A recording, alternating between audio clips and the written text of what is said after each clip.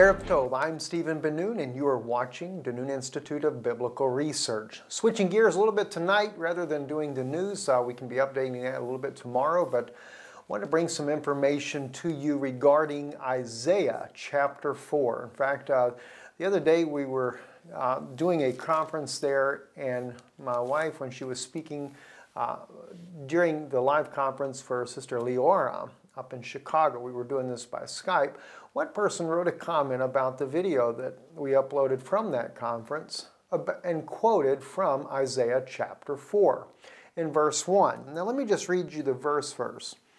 And in that day seven women shall take hold of one man, saying, We will eat our own bread and wear our own apparel, only let us be called by thy name, to take away our reproach.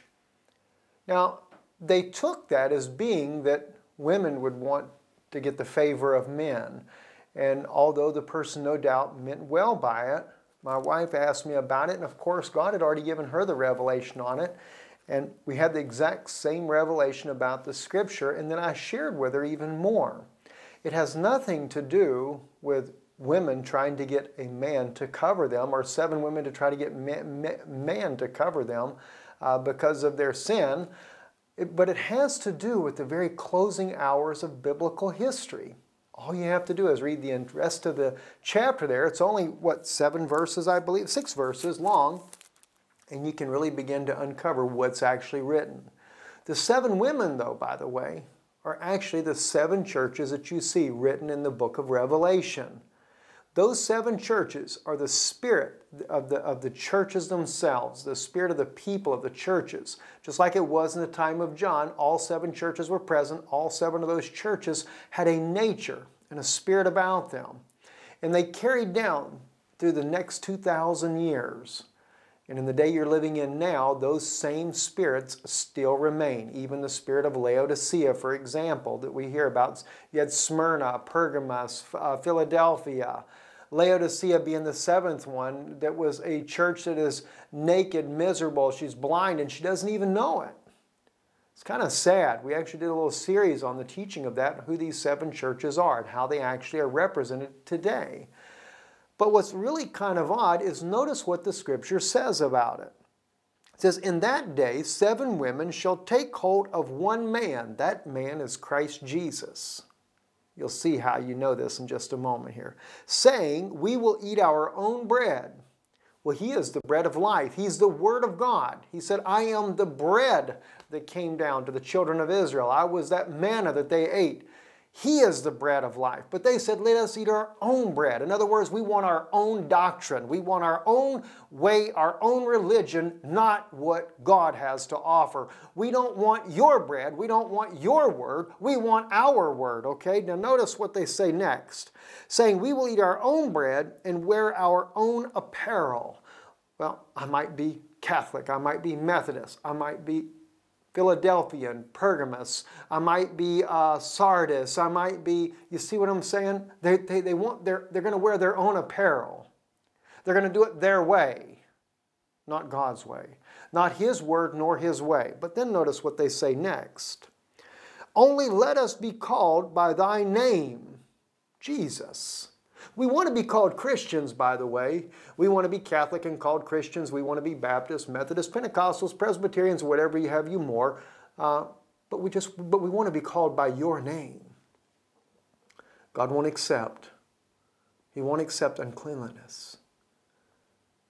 If you're going to accept the name of Yeshua, if you're going to be called a Christian, then eat his bread and wear his apparel. It goes on to say, to take away our reproach because they know they're dirty. In other words, they need forgiveness of their sins, but they want it their way.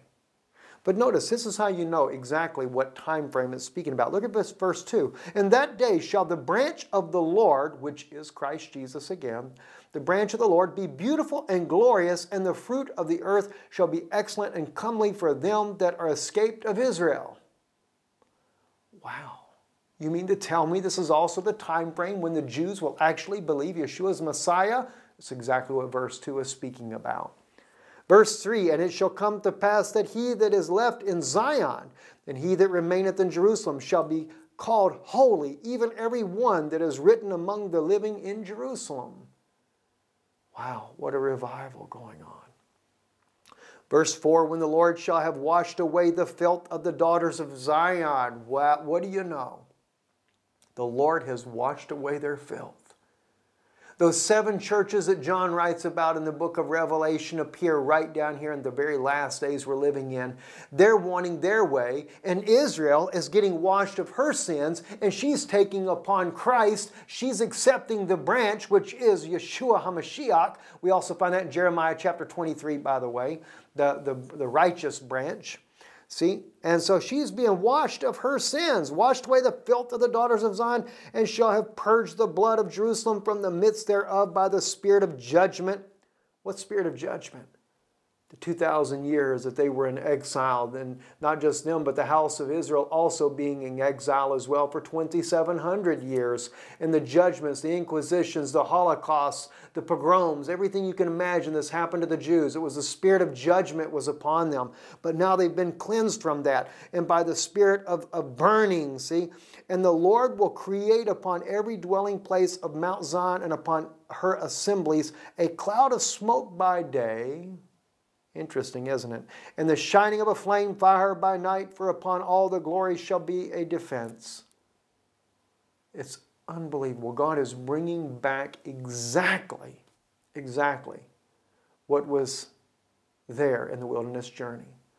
The pillar of fire by night that give them light to see and a cloud by day to shadow them the Spirit of Almighty God. Verse 6 in conclusion, and there shall be a tabernacle for a shadow in the daytime from the heat, and for a place of refuge, and for a covert from storm and from rain.